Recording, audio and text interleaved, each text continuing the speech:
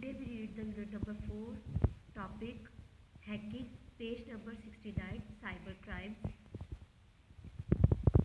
hacking an illegal access to a computer system or network is called hacking वो गैर कानूनी काम जो कंप्यूटर के निज़ाम में या नेटवर्क के ज़रिए होता है उसको हैकिंग कहते हैं hack Hackers write or use ready-made computer programs to attack the target computer.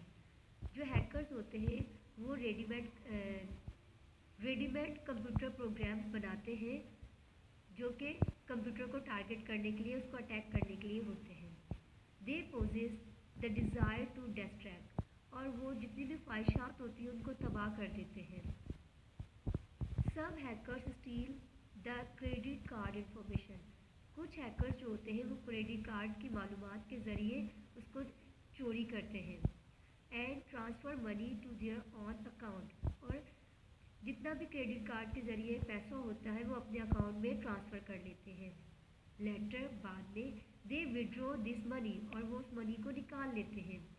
They also threaten people to publish the sensitive stolen information और इसी तरीके से लोगों में खौफ व हिरास पैदा करते हैं उनको थ्रेट देते हैं और उनसे उन, उनको इतना हसास कर देते हैं और उनसे मालूम लेने के बाद उनकी उनका पैसा चोरी करते हैं या उनकी चीज़ें चोरी करते हैं इस तरीके से। Denial of service attack as a sir as a result of this type of attack the user may not some service services he may not able to use the internet service इस दौरान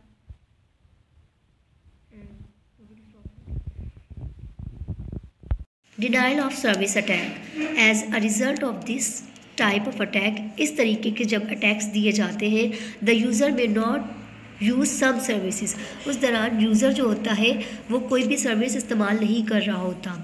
He may not able to use the internet service और वो इस काबिल भी नहीं होता कि वो इंटरनेट सर्विस को इस्तेमाल कर सके। इन द सेम वे इसी तरीके से there may be a lot of spam और वो बहुत सारी चीज़ें फजूल कर देता है या बेकार हो जाती है। एज अ रिज़ल्ट और जब नतीजा निकलता है the available memory gets consume और जो यादाश्त या मेमोरी जो होती है वो दरकार होती है। The user fail to use the email service और उस दौरान यूज़र जो है वो अपनी ईमेल सर्विस भी नाकाम कर चुका होता है। It is also a crime और वो जुर्म में शामिल होती है। ये भी जुर्म होता है। Software piracy legal use of copyrighted copyrighted material without authorise authorisation is called piracy गैर कानूनी मवाद जो कॉपीराइट जो कॉपी किया जाता है, बगैर तस्दीक किए उसको पायरेसी कहते हैं। It is usually done by illegal copy का सॉफ्टवेयर और जो जो कि किया जाता है गैर कानूनी किया जाता है सॉफ्टवेयर के ज़रिए। डुप्लीकेट किया जाता है या उसको कॉपी किया जाता है।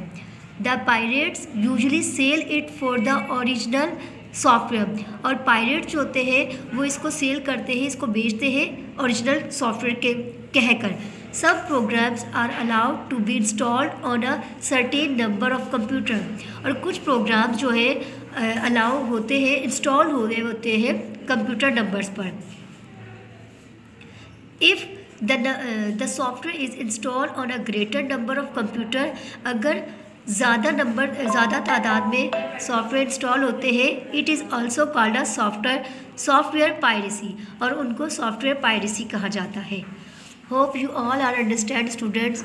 Okay khuda hafiz we will meet on next lecture